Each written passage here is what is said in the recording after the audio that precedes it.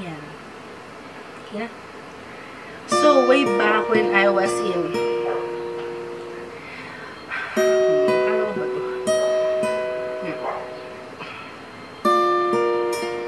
Yan. Hi guys! Welcome back to my channel. So, for today's vlog, magkikwentuhan lang tayo today. Yun nga. Last night, I asked the Instagram community to suggest any YouTube content sa akin because naubusan na talaga ako ng content. So, to my surprise, one of them asked me how to stand up or how to be strong despite of being bullied before. And to my surprise also, yung nag-ask sa akin nun, eh, yung nang bully sa akin before. So, madami sila, kaya huwag nyo nang tanongin kung sino. Yun. Then, sabi ko, sabi ko sa sarili ko, parang pinag-isipan ko kung ikikwento ko ba to sa kanila or i-share ko ba to sa inyo. And, yun nga, na-realize ko that okay din pala, naikwento na lang din. Yun na, game. Way back when I was in high school, I got bullied. Talagang nabully ako. And that was one of the darkest days of my life. It is almost a year na nabully ako. Tandang-tanda ko, isang taon yun talaga. I swear. It's a one whole year dark days of my life without knowing any valid reason for them to do that to me. Ano nga bang ginawa nila? Isa sa pinakamahirap hindi ka kinakausap. Akala mo ang simple lang, pero kung sa mga taong kilala ko, alam nila nang ayoko nang wala akong kausap. So, anyway, wag na yun yung pag-usapan natin. That time, I was asking myself, bakit ako?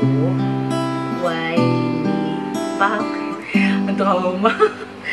bakit ako? So, in denial ako dun that time, ng mga first days of that year.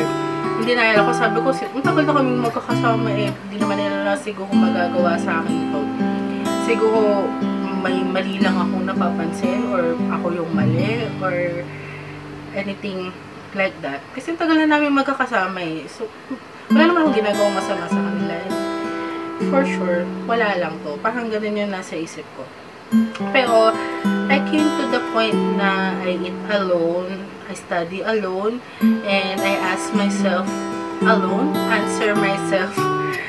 So, alone lang ako that time. Because, nobody will answer me whenever I ask question. Para akong hangin na, uy, ano ba yung, ano daw, hindi ko maintindihan. Meron ako di maintindihan sa lecture. So, walang nagsasalita, kala mo hangin lang ako. Parang ganun. Kasi siguro that time, kapag may nag-against, I mean, may kumangkay sa akin na isa, may experience niyo din yung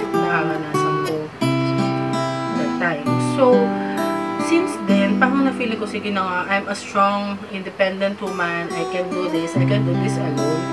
Kahit na mag-isa lang ako, kaya ko itong paglabanan. Then, dumating din ako sa time na whenever I came to school, gusto ko na agad umuwi.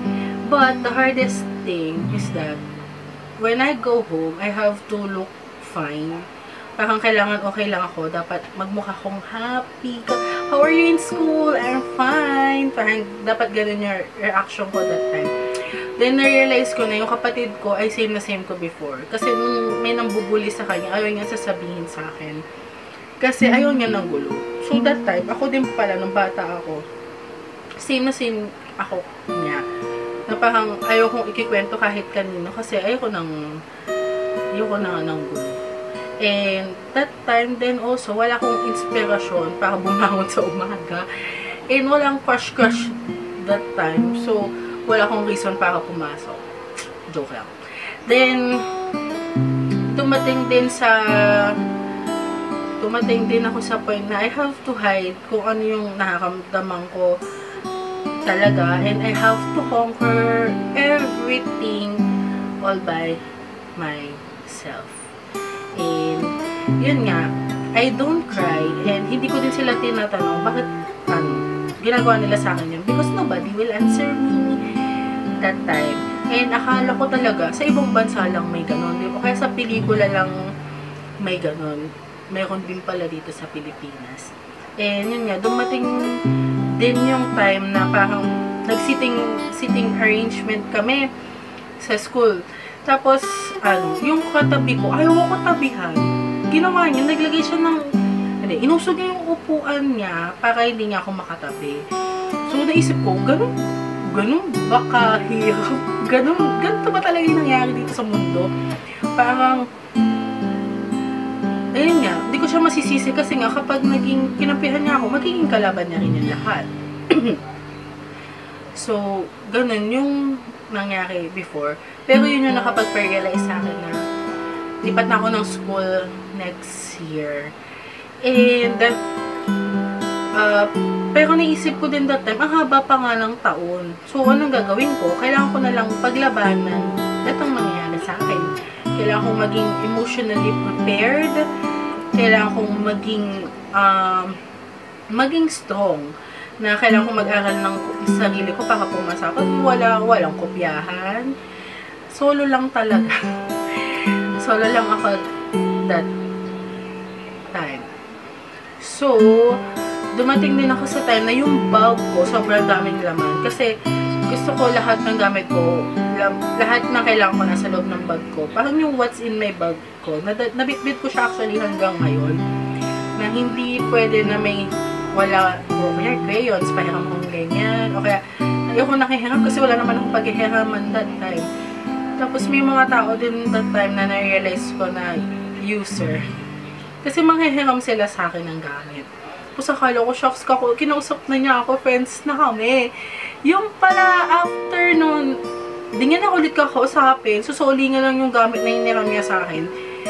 And, yun na nga, doon ko na-realize talaga na hindi, hindi pala talaga. Parang, hindi pala ako talaga tanggap na community na to. Then, fast forward, nag-stick na lang ako doon sa sabi sa akin ni Lord na just be kind. So, every time na may akong lectures sa church that time, na lagi kong pumapasok ako, kaya nalulungkot ako, ba't nila ako ginaganto, bakit ganto, ganto, ganto. Lagi lang ko talaga nagsistick doon, just be kind without hard heart, kapag maghahiram sila sa akin, okay lang. Then, doon ko talaga natutunan yung uh, selfless love nung time na yon. So, yon Next. Yan. So, fast forward ulit times 2. Before the year ends, yung teacher namin isa, sabi sa amin na create kayo ng thank you and sorry let letter sa someone dear to you. Kung may nagawa mali sa kanya, send mo siya.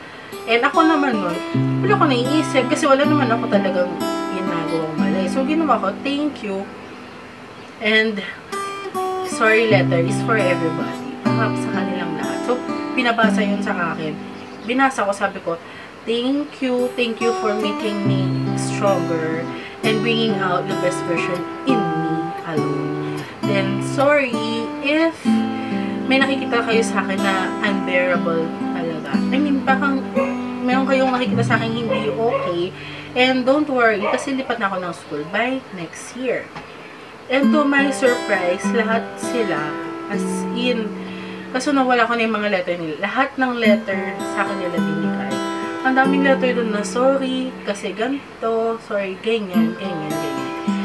And nagte-thank you sila kasi, um, yung pagkakakilala daw nila sa akin nung noon ay hindi naman nagbago kahit na may nagawa silang mali sa akin. Okay, forgiven. But, yung decision ko that time is final, which is to transfer to different school. And, isa din sa reason nun, because it was quite hard for me to travel from Pasay to Manila, then Manila back to Pasay when I was in high school, kasi lumipat na kami ng bahay sa Pasay. So, isa na rin yan sa reason kung bakit gusto kong mag-travel ng, I mean, gusto kong lumipat ng school. Yun nga, pinipigilan talaga nila ako, pero my decision was really final that time. So, fast forward tayo ulit. Nung nag-transfer naman ako ng school that time, it was a different kind of environment na feeling ko, people accepts me the way I am.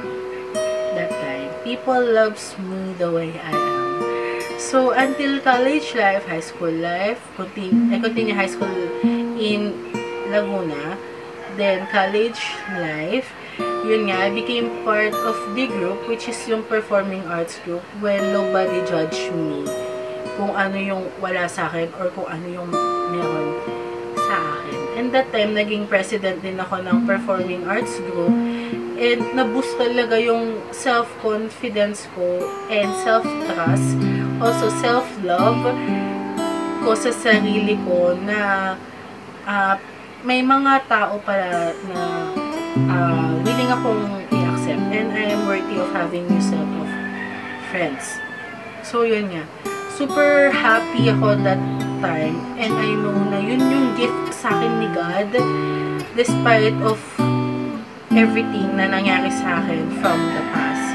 And talagang kung paano ko siya talaga kinonquer is that I stick to what God has told me. Yun nga, just be kind. Yun lang yung laging yung tatandaan. Just be kind. And revenge was never an answer.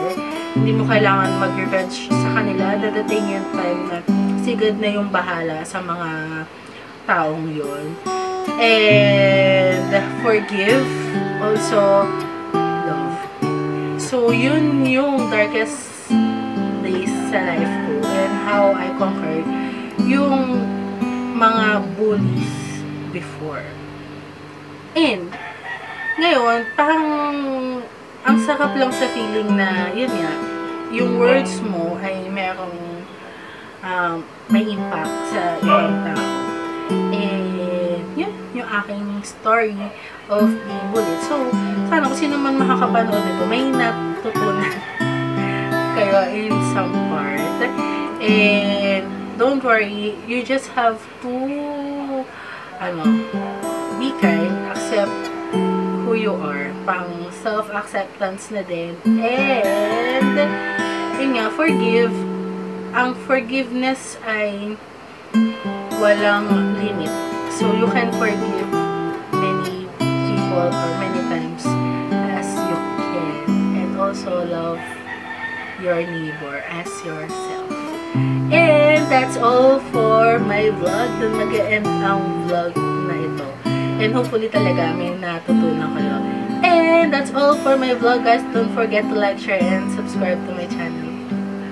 Thank you for watching. See you on my next vlog. Bye!